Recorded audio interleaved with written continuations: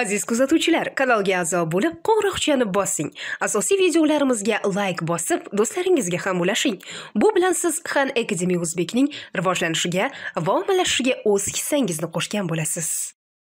Avvalgi darsimizni qisqacha eslab o'tadigan bo'lsak a mamlakatdagi odamlar b mamlakatga investitsiya kiritishga katta xohish bildirishgan va buning uchun qo'llaridagi a valyutani b valyutaga ayirboshlash harakatiga tushgandi.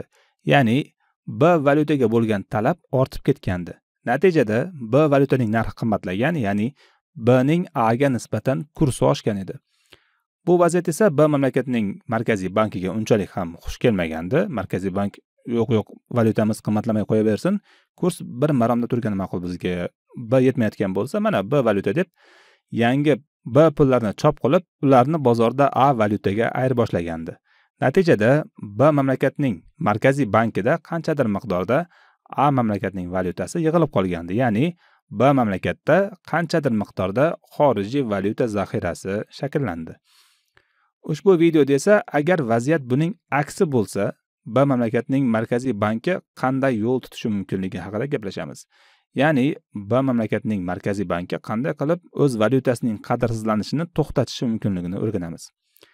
Tasavvur qiling endi a mamlakatdagi odamlar b mamlakatdagi vaziyat unchalik ham yaxshi emasligidan xabar topdi. Qarashsa kiritgan investitsiyalari unchalik ham foydali emas ekan. Natijada a mamlakat fuqarolari b mamlakatdan sarmoyalarni qaytarib olib chiqishga harakat qilishadi. Buning uchun esa qo'llaridagi b valyutani o'zlarining milliy valyutasi bo'lmish a valyutaga almashtirib olishlari kerak. Shunday qilib avvalgi vaziyatning teskarisi yuzaga keladi. Shunday qilib hamma qo'lidagi b valyutani sotaman deb yuribdi.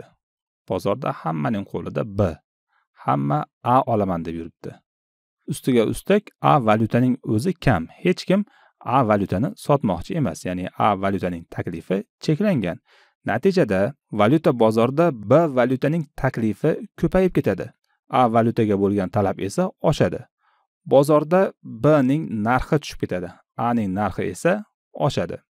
Boshqacharoq aytganda bu yerda bitta b ga bitta b ga kamroq a to'g'ri keladi kamroq a beriladi yoki bitta a ga bitta a ga ko'proq b beriladi.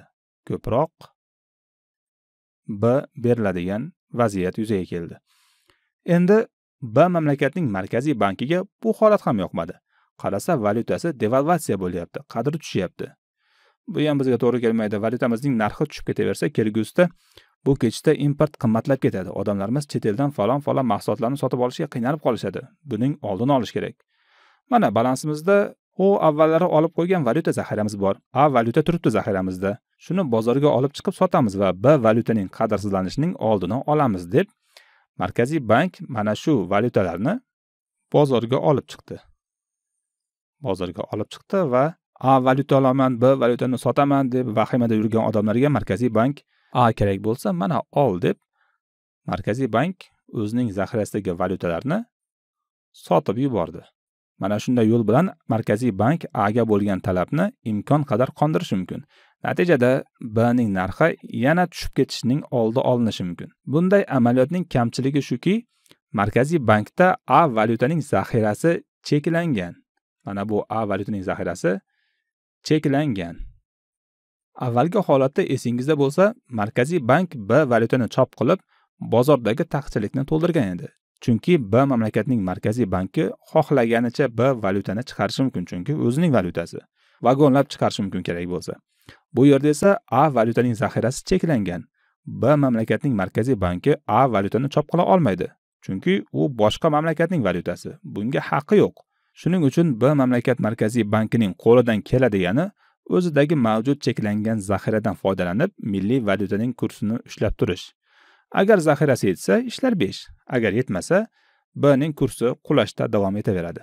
Keyingi videolarda ana shu valyuta zaxiralari tugab qolsa nima bo'lishini odamlar qanday spekulyativ xatti harakatlar amalga oshirishni real misollar bilan tushuntirishga harakat qilamiz.